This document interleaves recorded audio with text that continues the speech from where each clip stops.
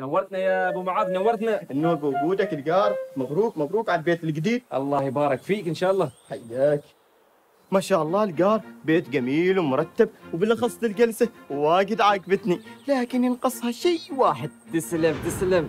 هذا من ذوقك الراقي لكن ما خبرتني الجلسة مو ينقصها. تو أنت ليش ما مسلك الكهرباء هالجلسة؟ ما تبى تجلسوا أنت والأولاد بالليل على اضاءه حلوة والله إنك صدقت. كيف راحت من بالي؟ سبحان الله مع أن الاستشاري ما خبرني قبل. لا تحاتي ولا تشيل هم. عندي لك فكرة لا تحتاج تسليك ولا غيرة. خذ لك مصابيح الطاقة الشمسية وخلك صديق للبيئة. تسمعني؟